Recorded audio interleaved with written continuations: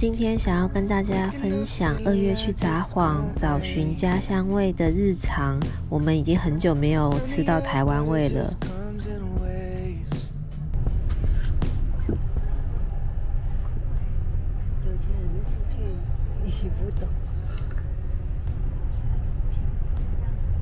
全是，全是雪上摩托车哎，好好。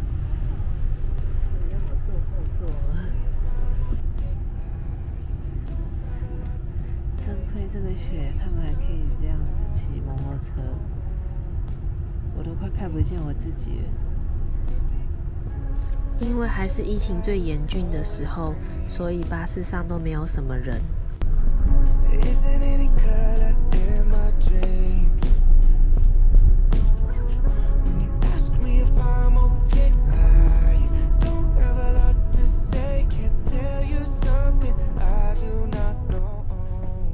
这一次主要的目的是想要吃台湾的炸鸡排，跟喝看看日本的贡茶跟台湾的贡茶有什么不一样。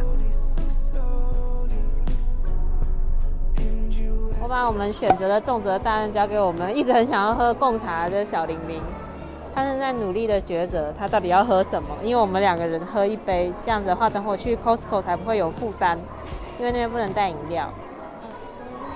最有名的。黑糖 milk tea，你买了什么？你最后决定了什么？普洱茶。哦，我想说，都都来了，还喝普洱茶？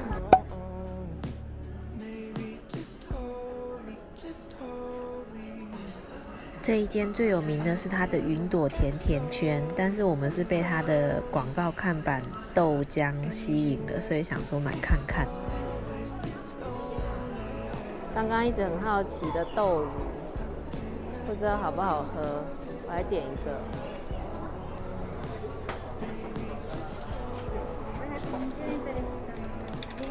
大在吗？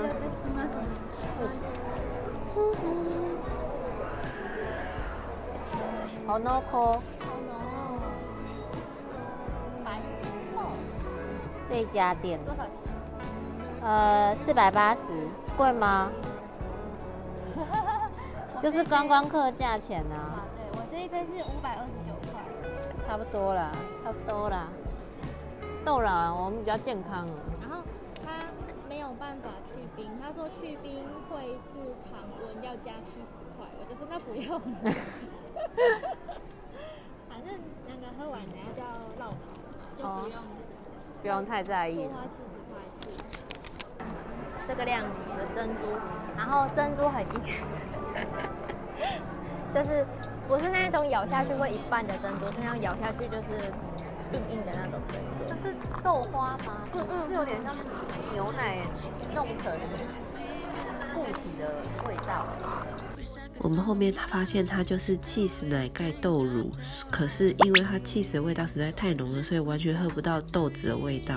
乌龙奶，它喝起来像乌龙奶，有像奶茶吗？红茶牛奶，喝起来不像乌龙奶。对啊，在那个饮料店打工过的评价，咖啡是硬，呃，珍珠是硬的。因为我那时候在米克夏打工的时候，我们那个珍珠是 Q 的啊，它感觉就是不知道是太冰了，不然就是它还没有煮熟就捞起来的感觉。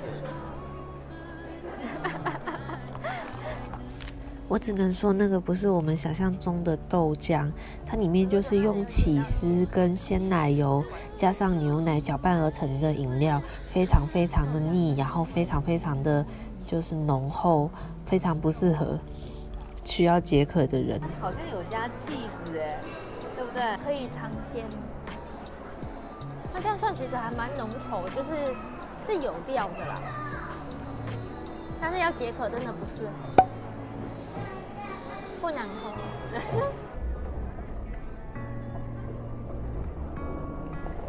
喂。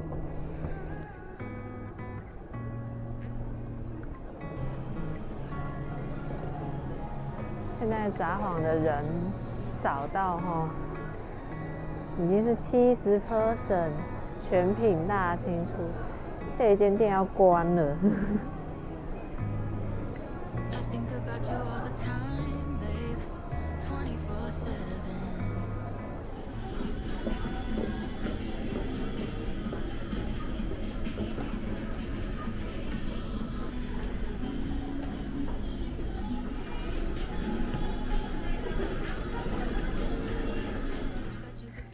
们刚好路过经过这一个天狗堂，它一开始是以金箔冰淇淋为名的，那它还有推出其他就是各种种类的马铃薯炸薯条，可以供大家就是参考。然后我们刚好发现这边有卖台湾鸡排，所以就来吃看看了。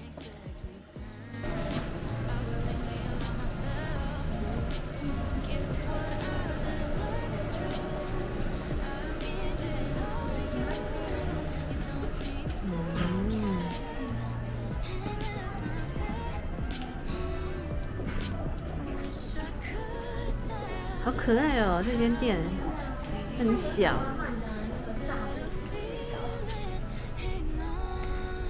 它这边的话呢，有像这样子的，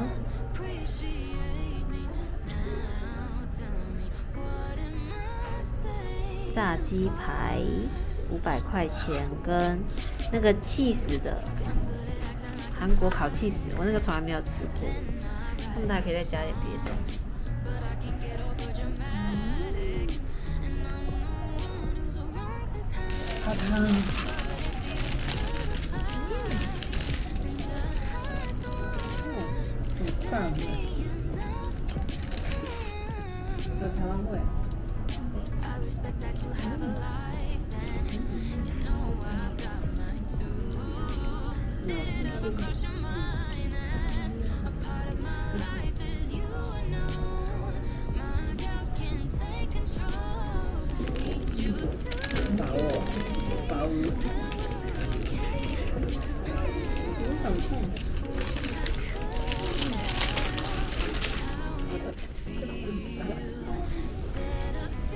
我觉得这其实也不雷嘞。是的，它不会当腻的。我这样买啊，两个是九百九十日元，你们觉得贵吗？我觉得还好啦，不算贵。吃完了，好吃吗？味道，还是有一点有味精的味道，不累了，可以吃看看。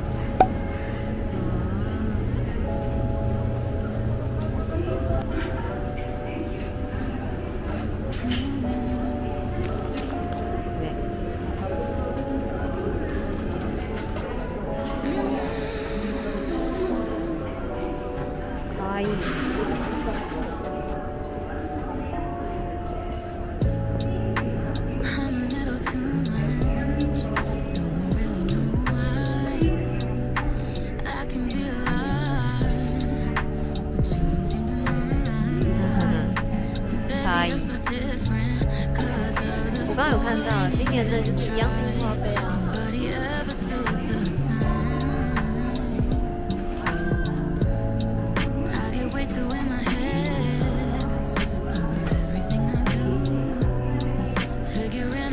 点了什